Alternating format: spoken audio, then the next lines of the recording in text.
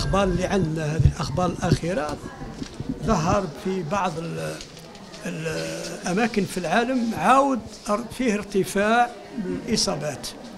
هذا كما قلنا في السابق هذا فيروس مجهول وممكن نقولوا شيء اليوم ونتراجعوا فيه غدوة. كانت عندنا مرجع أولى قلنا هي الأخرى موجة ثانية هي الأخرى موجة ثالثة صعبة جدا موجة رابعة. إحنا الشيء اللي يهمنا كثير أن نحضر نفوسنا بالنسبة للأدوية بالنسبة للأطقم الصحية بالنسبة للأكسجين بالنسبة للأسرة بالنسبة للمستشفيات يصبح القطاع الصحي مجند حتى وتكون فيه إذا قدر الله موجة أخرى.